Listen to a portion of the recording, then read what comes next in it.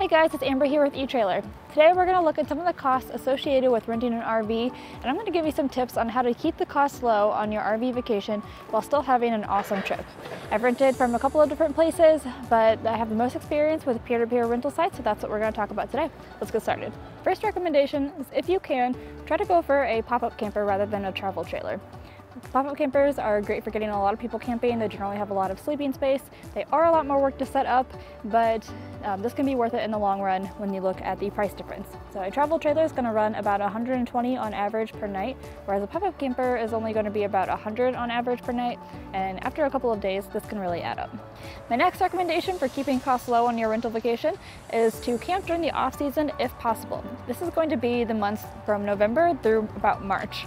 Um, this is when campsites generally don't see that much business, so they do offer some discounts. Um, for instance, around here, uh, we checked out a couple of campsites and found that you could save on average about 10 to $12 per night just by camping in the off season.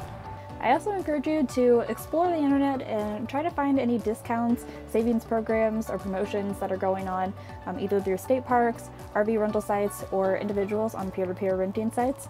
For instance, a lot of parks have discounts for senior citizens, for current and former military. Um, a lot of individuals run promotions during the off season or run specials for returning renters. So just take a look, see what's out there, browse around different websites, um, and you might get lucky and find a good promotion. All know gas is super expensive, so my next tip is on gas savings.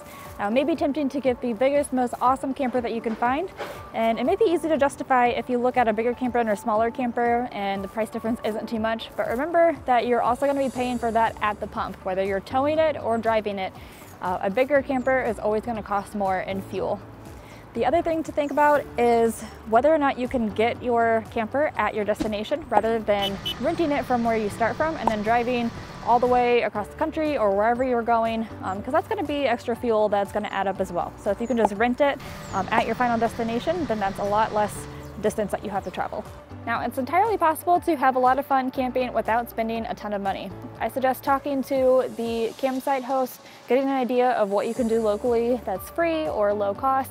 Um, I also recommend hitting the grocery store before you get out there and cooking in your camper or uh, even over the fire. That can be really fun and it's a great way to save money. If you guys have any questions or comments about saving money during your RV rental vacations, leave them in the comments below. We are happy to help you guys. Talk to you later. If you guys like that content and want to check out our next video, go ahead and click this button over here.